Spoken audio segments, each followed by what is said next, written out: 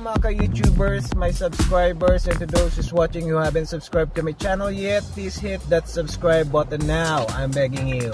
Please also include that bell button at the side uh, so you'll get notified every time I upload a new video.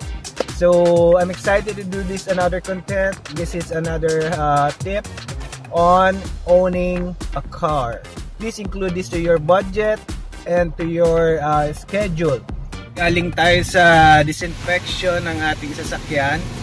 Guys, I highly recommend that you do this din sa inyong sasakyan lalo na kung ginagamit niyo ito for public transportation or frequently nagsasakay kayo ng iba bukod sa sarili nyo o sa pamilya nyo. So, para sa mga private cars, I highly recommend na do this every 2 weeks. Uh, para naman sa mga ginagamit ito for public transportation like Grab, taxi, uh, do this at least once a week. The rate naman is very reasonable and the service is good and complete. Uh, I suggest do this for the safety of you yourself, your family, and your passengers.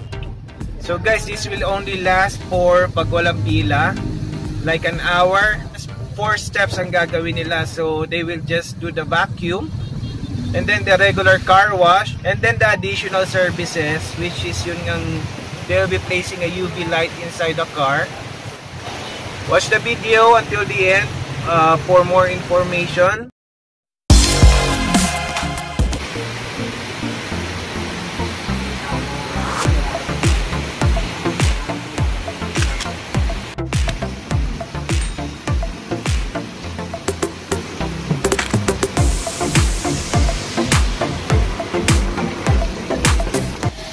Kagandahan kasi ng UV light at fogging, naaabot namin ang hindi naaabot ng kamay. Kasi yung iba kasi sprinkler lang Oo. at saka kamay. Which is sometimes it can damage the uh, leather seat and then the dashboard. Nakaputi siya eh. Now, kami, UV light at saka fogging, naabot namin, hindi naabot ng kamay. And then, ang kagandahan ng fogging namin, nakakamatay siya ng bawang amoy, nakakamatay siya ng insekto, at at the same time, nakamaximize siya ng epekto ng UV light. Alam naman natin, ng UV light, siya yung nakakamatay ng virus.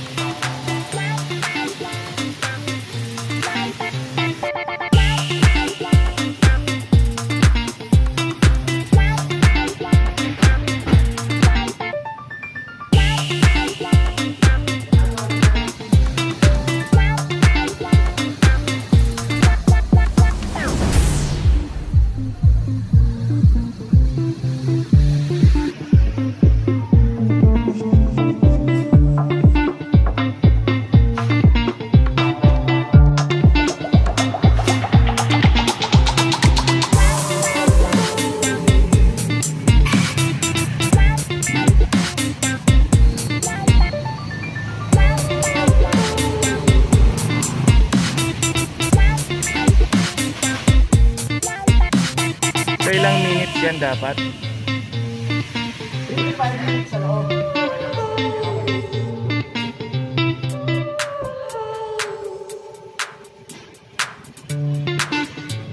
Namin, kung mapapansin mo, yung LED, LCD natin, hindi nagagalaw yan, hindi nasisira. Why? Kasi yung sprinkler, sometimes, accident na ma-wipe mo yung ano, sira yan.